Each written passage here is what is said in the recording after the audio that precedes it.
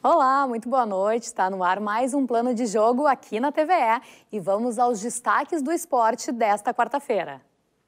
Grêmio e Cruzeiro fazem o primeiro jogo da semifinal da Copa do Brasil. Chavante sofre outra goleada na Série B do Brasileirão. Veja como ficou a classificação da Liga Gaúcha de Futsal. E na entrevista, vamos falar do Circuito Nacional de Tênis. E hoje é dia de decisão pela Copa do Brasil. Logo mais, Grêmio e Cruzeiro entram no gramado da Arena, disputando uma vaga para a final do torneio. Ao Grêmio, importa fazer resultado. Ao Cruzeiro, gols fora de casa são necessários. Pela semifinal da Copa do Brasil, Grêmio e Cruzeiro entram em campo hoje à noite para fazer o primeiro jogo que vai decidir qual dos dois segue a final o tricolor busca seu sexto título na competição.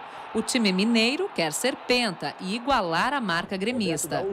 Grêmio e Cruzeiro têm juntos nove conquistas na competição e já decidiram o campeonato em 93, quando a Raposa foi campeã, vencendo no Mineirão.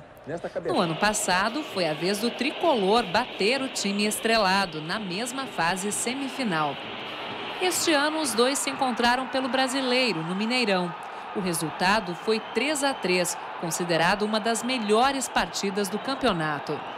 O Grêmio vai a campo com todos os seus titulares. Pelo lado do Cruzeiro, o atacante Sassá é a ausência, por já ter jogado pelo Botafogo nesta competição. Tudo pronto então para logo mais às 15 para as 10, quando os times de Renato Portaluppi e Mano Menezes entram em campo na Arena. E pela Série B, o Brasil de Pelotas voltou a enfrentar um antigo problema. Muitos gols sofridos. A equipe foi até Londrina enfrentar o time da casa e tomou a sexta goleada em 20 jogos no torneio. Aos três minutos de jogo, Safira faz o giro e passa para Arthur, que dentro da área fuzila o goleiro Marcelo Pitol. Londrina 1 a 0. O Londrina busca ampliar. De novo Arthur. Agora ele tenta colocar no canto direito de Pitol. O Chavante vai ao ataque. Nem faz boa jogada e passa para o artilheiro Lincoln, que dispara, mas a bola vai para fora. Aos 17 minutos, Marcinho pela direita cruza. Lincoln não alcança, mas Itaqui chuta. A bola desvia no zagueiro e entra. Tudo igual. Agora Arthur bate falta e Dirceu desvia de cabeça. A bola toca no travessão e por pouco não entra. Já nos descontos na primeira etapa, Misael erra o passe. Celcinho carrega e toca para Carlos Henrique, que acerta uma pancada sem chance para Marcelo Pitol. Londrina 2 a 1. Segunda etapa e Arthur arrisca de fora da área. Bola venenosa que Pitol espalma para escanteio. Pela direita, Reginaldo recebe em posição duvidosa. Ele ameaça cruzar e acaba cobrindo o goleiro Pitol. É o terceiro gol do Tubarão, com muita reclamação do Chavante. E para terminar, Celcinho bate escanteio da direita e Edson Silva de cabeça faz o seu e fecha o placar. Londrina 4, Brasil 1. Do gramado, vamos para as quadras. Pela Liga Gaúcha de Futsal, em Boa Vista do Buricá, a Belk e a CBF fizeram um jogo bem disputado e com muitos gols. E os visitantes é quem levaram a melhor. Veja aí. A Belk contra a CBF. E é o time de Carlos Barbosa que larga na frente. Mitue rouba a bola e abre o placar no primeiro minuto de jogo.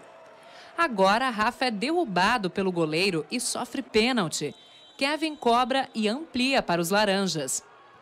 Um minuto depois é a vez dos donos da casa descontarem com Maiquinho, após bela troca de passes da Abelque. E o time de Boa Vista foi para cima em busca do empate, mas parou no goleiro Henrique, que desarmou o ataque e chutou no gol vazio para fazer 3 a 1 a CBF. E o segundo tempo mal tinha começado quando Kevin fez 4 a 1 Carlos Barbosa, aos 13 segundos de jogo. Gustavo da Abel que recebe do lado direito e fuzila para descontar. Agora mais um contra-ataque e a CBF faz o quinto gol com Júlio. O time de Boa Vista do Buricá ainda teve tempo de fazer o terceiro. Marcinho chuta e a bola desvia no defensor. Terminou assim: a CBF 5, a Belk 3.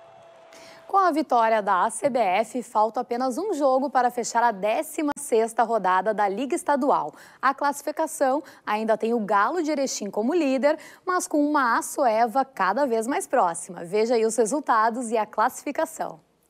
Quase todos os jogos da 16ª rodada foram no sábado. Em Caxias do Sul, a ATCL conseguiu segurar a sensação Azif, empate com dois gols para cada lado. Já em Tapera, outro grande jogo com muitos gols, mas que terminou empatado. América e Guarani de Espumoso fizeram três gols cada um. No Vale do Taquari, a LAF conseguiu uma importante vitória sobre a AES de Sobradinho, 5 a 3. Mas o grande jogo da rodada ocorreu em Venâncio Aires, entre a vice-líder, a Soeva, e o líder Atlântico Atlântico e deu a melhor para os donos da casa, 2 a 1. Fechando a semana, a CBF venceu fora de casa a Belk. O jogo entre a SASI de Selbac e o Bento Futsal foi adiado e ainda não há data definida para o confronto. Na classificação, o Atlântico segue líder com 33 pontos e 10 vitórias, mas a Sueva diminuiu a distância e agora está com 31 pontos e 10 vitórias também. A Zif de Birubá vem logo atrás com 29 pontos, seguida do América de Tapera com 28 e da ACBF, que com a vitória foi a 26. A LAF está em sexto com 24. A TCL segue na lanterna da competição com uma vitória e um empate em 15 jogos.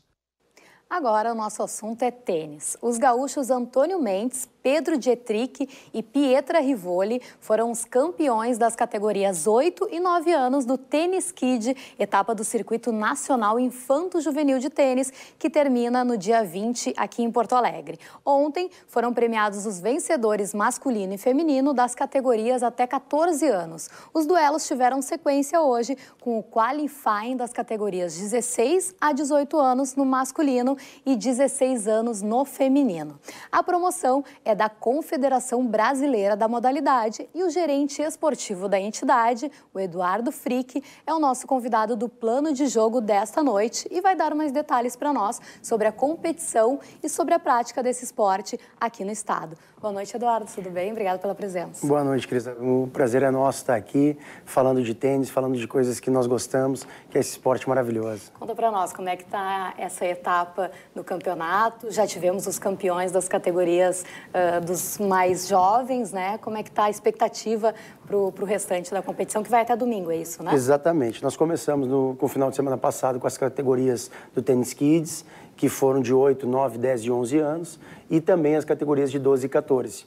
E hoje demos início no Qualify das categorias 16 e 18, que vão até o próximo domingo, ali nas quadras da Associação Leopoldina Juvenil. Tu me contavas, né, Eduardo, que houve uma modificação nesse ano em relação aos anos anteriores, justamente para adequar uma, uma, forma melhor para que as crianças e os adolescentes não perdessem tantas aulas, né? Exato. Como é que foi essa mudança? Foi essa modalidade. Nós né, fizemos no sábado e domingo e segunda e terça com as categorias de 12 e 14, onde é, só quem está nas semifinais e finais, que né, na segunda e terça-feira perdem aula, assim como a outra categoria 16 e 18, que só chega para começar o torneio amanhã. Então é só quinta e sexta também que ela perde aula, né, que isso era uma preocupação, principalmente é, dos pais e, e, nossa também, fazendo com que é, essas crianças não percam aula, né, já pelo longo e extenso calendário que elas têm ao longo do ano de torneios. Pois é, tu me falaste, né, tem muito torneio de tênis, coisa boa, porque isso vai fomentando né, as crianças é, esse gosto pela competição. Né? E tem agora a Copa das Confederações, no, teve, na verdade, em julho, né, em Uberlândia, e o Rio Grande do Sul teve uma, um, um, resultado bem, bem significativo. Bem né? expressivo. O Rio Grande do Sul aí veio com um trabalho muito bem desenvolvido aí pelos técnicos gaúchos. É, o Rio Grande do Sul ficou em segundo lugar, São Paulo foi campeão. É onde uma competição por equipes, onde as federações, né, a, confederação organiza isso, onde as federações disputam entre elas é, torneios de simples e duplas com seus melhores jogadores e tem o campeão, o vice, que foi o Rio Grande do Sul, e o Paraná ficou em terceiro lugar. E como é que está a nossa safra gaúcha aqui? É, é boa? Tem é, cerca de 300 atletas né, nesta etapa. O que, que tu pode contar para nós? Assim, vem muitas boas promessas por Com aí? certeza. Eu acho que aqui todos os que estão jogando esse circuito nacional são os melhores, são aqueles que já passam por seletivas dentro do seu estado e daí sim eles conseguem jogar é, esse torneio, porque esse torneio realmente ele está separando já os que são os melhores do estado e aqui está né, reunido todos os melhores do Brasil. Tem alguns outros jogadores que também estão fazendo parte do calendário internacional. E, e, aqueles que estão dentro do Brasil hoje estão aqui nessa competição até domingo. Tu já fostes atleta, já fostes técnico, agora está mais no gerenciamento, na organização, mas tem bastante propriedade para nos dizer Quais os principais benefícios do, do tênis, tanto para as crianças quanto para os adultos? O que, que o tênis agrega na vida das pessoas? Acho que todo o esporte, não só o tênis, mas o, o tênis, por ser um esporte individual, né? Realmente, hoje a gente fala muito sobre questões como resiliência, como né, é, saber lidar sob pressão. Então, o tênis, por ser um esporte individual, ele te ensina muito isso, sair das situações de pressão sozinho. Né? Até porque o técnico no, no tênis ainda não é permitido que ele ajude durante o jogo, sim antes e depois. Então, acho que esse é um grande fator que ajuda muito. A questão da disciplina também do esporte, acho que isso é importante para todas as crianças. E trazer isso depois para um. Se ela continuar nessa vida jogando tênis profissional, ou então se ela levar para o resto da vida dela com uma outra função que ela vem exercer. Se tem uma ideia, né, que o tênis é, é um esporte elitista, mas aos poucos eu acho que está se desconstruindo essa, essa mentalidade, né? E aqui no Rio Grande do Sul a gente tem projetos sociais bem importantes. A gente comentava o Embelendon, uh, enfim, o Rolando Arroz. Né? São, são projetos que mostram que não, que o tênis ele pode ser para qualquer faixa etária e para qualquer uh, renda também, né? Com certeza, esses dois projetos são projetos que a Confederação Brasileira de Tênis, né, em nome do nosso presidente Rafael Vestrup, apoia esses dois projetos, tanto o Embelendon quanto uh, o projeto que é a Fundação Tênis, que faz esse evento do Rolando Arroz, um evento muito bacana. E eu acho que esse é o nosso intuito também, tá em todas as instâncias do tênis, desde né, da iniciação, da formação, com projetos sociais, com tênis de infanto-juvenil, competição, até eh, os sêniores também, que é uma preocupação nossa, que essas pessoas também curtam e continuem né, sendo eh, tenistas ao longo da sua vida. Que bacana. Muito obrigada pela tua participação aqui, parabéns pelo evento, sucesso até o final dele e obrigada pela presença. Eu que te agradeço, Cris. Estão todos convidados a aparecerem no Leopoldina Juvenil para as finais do evento. Tá aí, fica o convite então para o nosso telespectador. Vamos falar de rugby agora? Pela Taça Tupi, considerada a segunda divisão do Campeonato Brasileiro da categoria, teve clássico porto alegrense no último final de semana. San Diego e Charrua jogaram em Canoas, no Parque Municipal Capão do Corvo. Veja aí como é que foi. O São Diego esteve sempre na frente do placar graças às cobranças perfeitas do Jaqueta 15 Eric de Ciuta. Ao todo, ele acertou cinco penais. Do lado do Índio, Charrua, Arthur Dalpisolo, Paquito também marcou penal. Na segunda etapa, o Charrua cresceu e fez seu tri com Rafael Abreu, Rafinha. O Charrua encosta no marcador, mas o time verde e preto vai para cima. E Bruno Carvalho rompe para fazer um trick e de Ciuta converte em mais dois pontos. Charrua não desiste e na força técnica faz mais um tri muito festejado. E foi isso, 22 a 15 para o São Diego, que subiu para segundo lugar no grupo C, liderado pelo Charrua. Próximo sábado, os dois times gaúchos jogam fora. O São Diego vai a Chapecó enfrentar o Chapecó e o Charrua a Florianópolis encarar o Joaca. E o plano de jogo fica por aqui. Na sequência, você assiste o programa Panorama. A gente volta amanhã às 7 horas da noite. Espero vocês até lá. Tchau, tchau.